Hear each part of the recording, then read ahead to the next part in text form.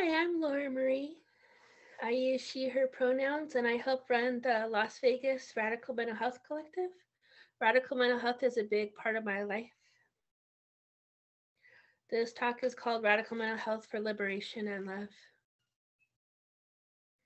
Everything I say is offered in the spirit of my own learning with the desire to be helpful. Please take in what you might need and leave out what doesn't speak to you. I'd like to tell you how I came to radical mental health and give an overview of the main ideas of radical mental health. Radical mental health uh, corresponds with UU principles one, two, three, and six, especially. So, justice, community, the inherent dignity and worth of all people. And the subject matter is important because mental health struggles are common for ourselves, our family members, our partner persons. We can all have big feelings. So, how I found radical mental health. I was diagnosed 15 years ago, bipolar 1 with psychotic features. And my diagnosis was changed to schizoaffective disorder bipolar type a few years ago, a few years later. I hear voices um, lifelong, so my whole life since I was a little child. And I also have big moods and some periods of paranoia. I was told I would never get better and that I would be on those um, powerful medicines for my whole life, which was not true. I also have social differences and sensory sensitivities, an ACE score of nine. I'm a trauma survivor. I have CPTSD and anxiety. So, that first manic episode when I was diagnosed, I was told to seek help, but I was scared of the side effects of the medications that were being prescribed to me. So I Googled about and I found Icarus Project, which is um, which is a radical mental health org that doesn't really exist anymore. It changed into another org. I was involved with that for 10 years and I went on a whole journey from um, resisting diagnosis to uh, accepting and embracing diagnosis as potentially helpful, re rejecting diagnosis, and all of these layers of truth coexist uh, inside of me, like all pertinent at different times. I identify as crazy, which is a reclaiming of the word, kind of like queer and fat can be reclaimed um, as descriptors so that we can use their power, uh, their insulting power for liberation instead of for harm. Diagnosis is helpful for some people as a key to a door that you could open and maybe find new help and new support. But sometimes when I have a key and I open a door and I pass through the door, I don't need the key anymore. So, um, some difficulty is a power imbalance that I experience when I'm in a psychiatrist's office. I feel danger there because in a psychiatrist's office, I can lose my freedom if I say the wrong thing. And I can also lose access to things that I need, like medication, if I have medication that I like. If I say the wrong thing or do the wrong thing, I can have what I need taken away. Also, I've often just been weighed and waited in an overwhelming waiting room, sensorily and socially.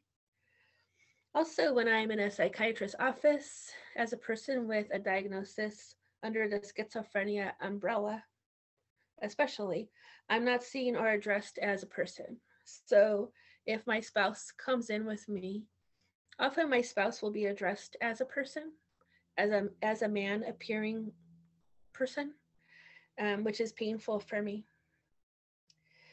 Um, so, radical mental health for me is the opposite of a psych psychiatrist office situation.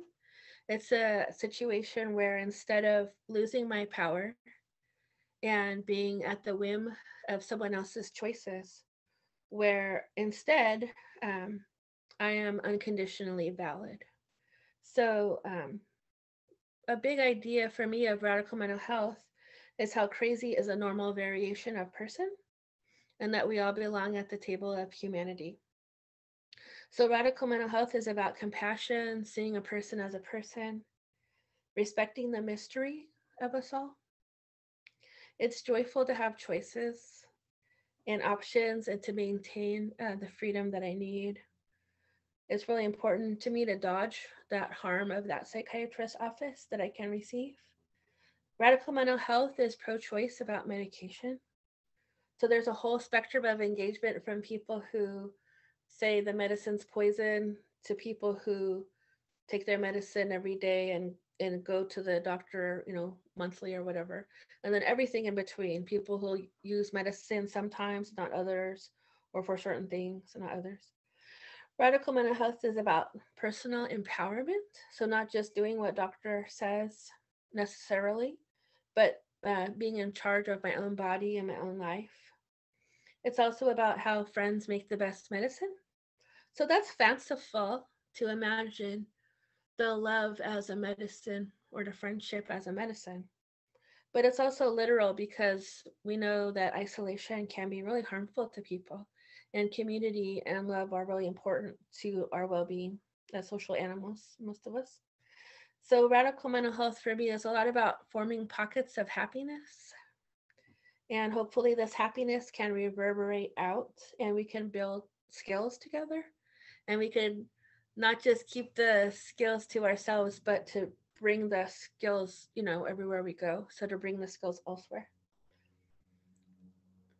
Something else important about radical mental health for me is building long term well being.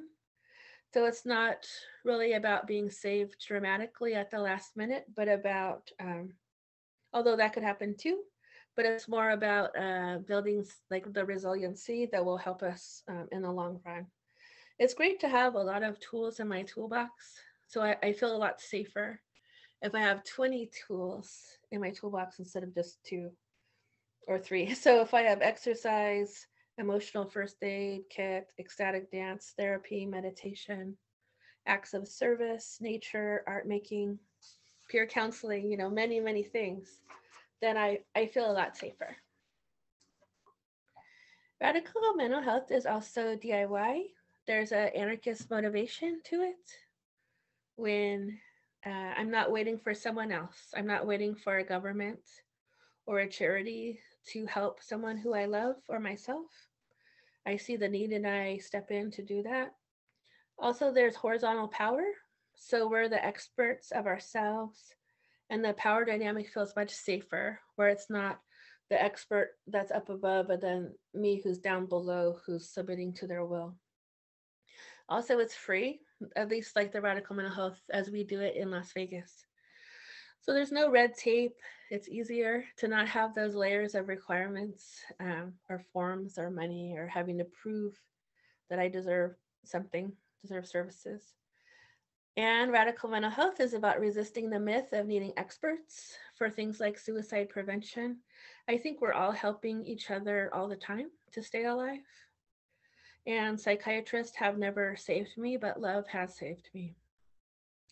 The US outcomes after psychiatric hospitalization for suicide attempt, um, you know, the person uh, may be likely to be alive, but people, um, for the most part, are not coming out of the hospital happy, well, and equipped to live good lives. People are coming out more drugged. I was overly sedated on the bipolar cocktail that I was on for 11 years. I was uh, sleeping 10 to 12 hours a night and a lot less creative than I am now. And that's not the life that I choose. So, the togetherness of um, the community against loneliness and seeing each other as actual whole beings is really important to me because doctors usually see just a sliver of me and make a lot of assumptions based on how I appear or how uh, my mood is in that moment. But when I step into a radical mental health space, I'm acknowledged as, a, as an entire being. There's mutual aid emotionally in the meetings and the um, gatherings of radical mental health. And there's also mutual aid materially. So in the Las Vegas Radical Mental Health Collective meetings, we have a mutual aid moment where we can offer and ask for material things. And I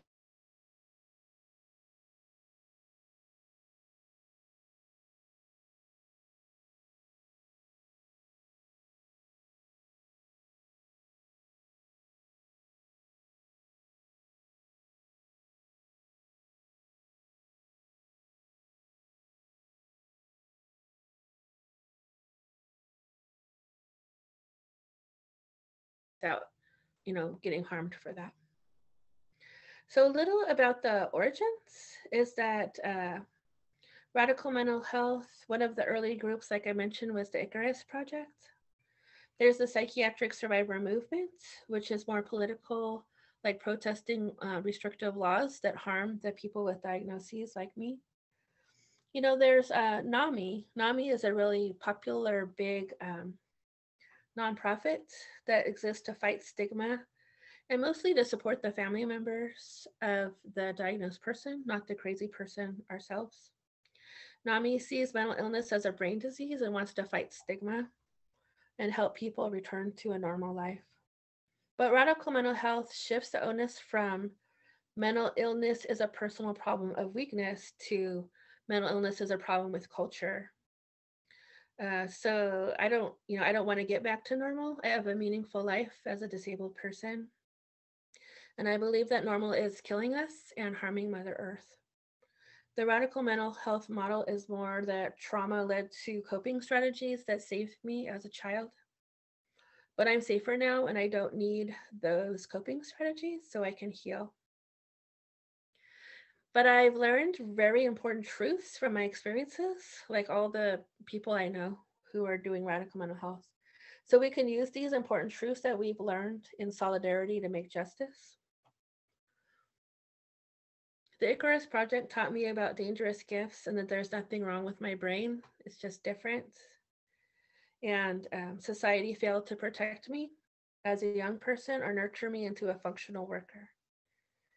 So it's not wrong that I can't work. It's, it's wrong that the world uh, requires unreasonable consistency from me. I'm not disabled by schizoaffective disorder. I'm disabled by capitalism, norms, and psychiatry. My needs are valid and okay, as yours are. I need less stress, more compassion, more love. Radical mental health is about justice and a new system, the abuse in hospitals and people who are imprisoned there, and being othered painfully in uh, medical clinical situations. Um, also, there's the power of the pharmaceutical companies that's painful. I see it when I go into a medical context in the drug reps that come, bringing lunch and donuts, posters, swag, and notepads with the names of drugs imprinted on them. I'm unconditionally valid, and uh, the world needs change. There are some things that I can adjust to and learn to live with, um, but some things got to go, right? Radical mental health is not just critical of the system, but we have faith in a new future that we could do better. And for the hour and a half of a radical mental health meeting, we do better. So the, the collective here started in May of 2017, same as the Las Vegas Street Medics. The, the, the collective was formed when Tashii Brown was killed by police in a racist murder in 2016. Tashii Brown um, was running from the, like, came up to the cops to ask for help and then was running and was killed by them. So there's an artist named Ravi Zupa who heard about Tashii Brown's murder and wanted to donate money to the people, to some people in Las Vegas toward de escalation. So that's how the collective was initially formed. Uh, so we'll be five years in May. We've been meeting at least twice a month for almost five years. For support, art, garden days, dance, journaling workshops. And while we meet, we build communication skills, caring skills, share ideas. We do healing. We find trust or relearn trust.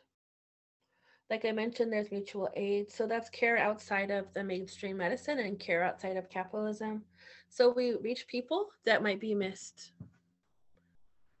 Um, it's advanced because many of us in the radical mental health have been through the system in many ways forced voluntary arrested addiction and we find common ground with respectfulness and a lot of diversity.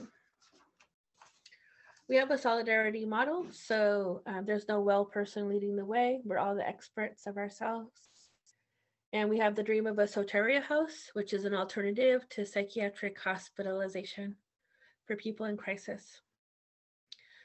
So, um, some last few ideas are that um, mental health struggles are very common.